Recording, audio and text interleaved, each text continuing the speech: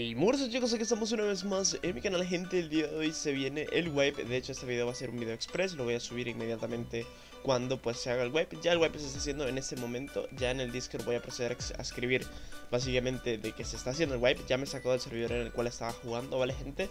Y vamos a hablar del blog de desarrollo que se publicó el 27 de septiembre, ya hace dos días, lo cual es un error mío, pero bueno, ahora es que tengo tiempo de hacerlo, el día del wipe, y justamente pues he sacado un poquito de tiempo para hacer este video express, por así decirlo, y vamos a leerlo chicos con todos ustedes, ¿vale? Para los que no lo han leído y no han indagado muy bien a fondo de lo que vendría a ser todo este texto, ¿vale? Vamos a ir por partes. Primero que nada, la, fecha de borrado mensual del servidor es el 29 de septiembre, ya se sabía, no el 30 como se indicó.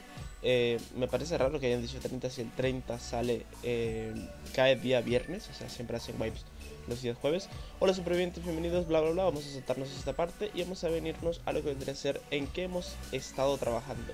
A finales de mes pasado lanzamos Ocean Bound trayendo consigo el carguero tan solicitado, ahora que navega por las aguas que rodean la isla y los jugadores tienen increíbles peleas a bordo, es hora de reflexionar sobre dónde estamos ahora. Afortunadamente tenemos una comunidad muy activa y abierta que no tiene miedo de compartir su opinión y gracias a eso podemos tomar decisiones más informadas sobre lo que quieren nuestros jugadores. Aquí está el cargo ¿vale? Y vamos a seguir leyendo, los escuchamos alto y claro. Y sabemos lo importante que es corregir algunas de las vulnerabilidades y errores del juego.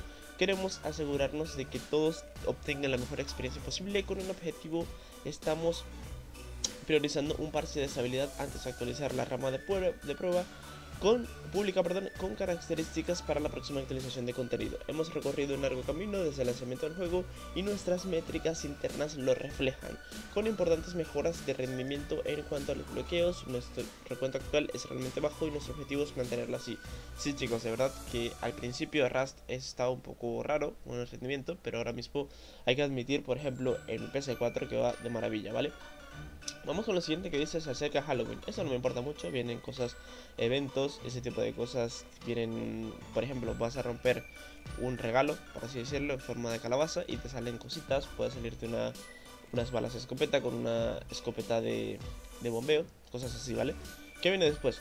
Como se mencionó anteriormente, nuestra prioridad número uno en este momento es trabajar para mejorar la estabilidad. Eso me parece bastante bien.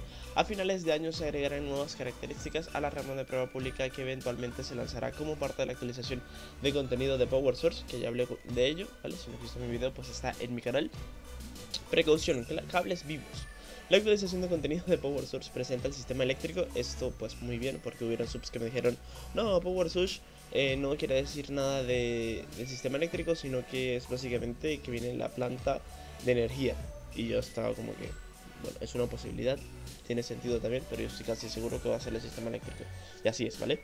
Y el contenido jugable por lo que debemos tener mucho cuidado con él. La rama de prueba pública se actualizará con nuevas características en los próximos meses para probar todo fondo para que, uff, chicos, próximos meses suena muchísimo, ¿verdad? Suena bastante.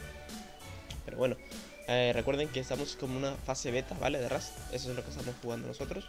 No es un juego completo, es una fase beta, así como se lo empecé, que empecé era lo mismo. Me recuerda mucho como cuando yo empecé en PC, ¿vale? Eh, se actualizaba cada tanto y era como jugar una beta siempre, ¿vale? Hasta que se lanzó el juego oficial completo en 2019, ¿vale? Eso es para los que no sepan eh, mucho sobre Rust, ¿vale? Así era también empezar, así que no se preocupen. La rama de prueba pública eh, aquí dice básicamente que pues trabajarán los problemas y que cuando estén seguros de la actualización planificarán el lanzamiento en la rama principal. O sea, básicamente en esa actualización que es día hoy, ¿vale? Hoy 29 de septiembre no se viene casi nada. No se viene nada, de hecho, nada más que una mejora de bugs ese tipo de cosas, presumo yo, y por este texto me lo está diciendo, ¿vale? servidores de eventos especiales. Eso me gustó bastante y fue una de las cosas que me llamó más la atención, ¿vale?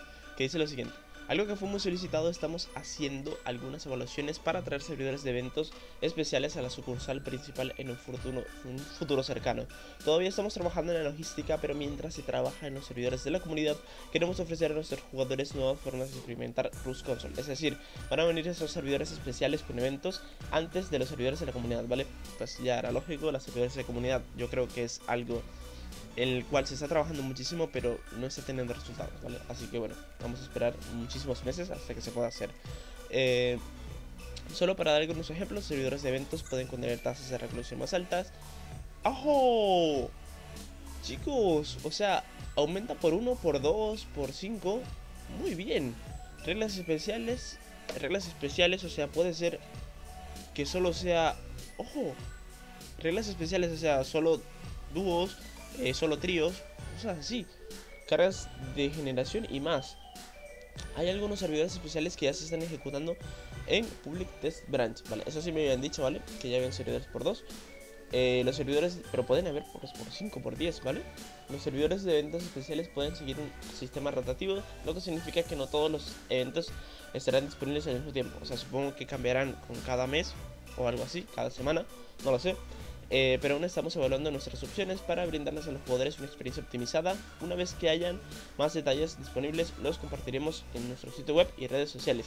Todavía no tenemos ninguna fecha de lanzamiento para este tipo de servidores, o sea, eso es una mala noticia, o sea, no va a venir en Swipe, ¿vale? Pero nos gustaría probar e implementar algunos de ellos antes de fin de año. Pues muy bien, o sea, ya estamos en, en octubre prácticamente eh, noviembre, diciembre, dos meses. Entre los dos meses, gente, vamos a tener este tipo de servidores por 5, por 10. Van a ir implementando, ya vendrían siendo solo tríos, solo dúos. Vamos a ver qué tal, me parece genial. Eso es todo lo que tenemos para compartir en el blog de desarrollo de ese mes. Espero que todos pasen genial el 29 de septiembre. Y nada, gente, yo como soy 4, pues obviamente les deseo a todos un feliz wipe. Y nada, gente, como siempre les digo, dejar sus likes, pedazo de like, suscribirse si no lo están. Y nos vemos en la próxima. Hasta la próxima. Adiós.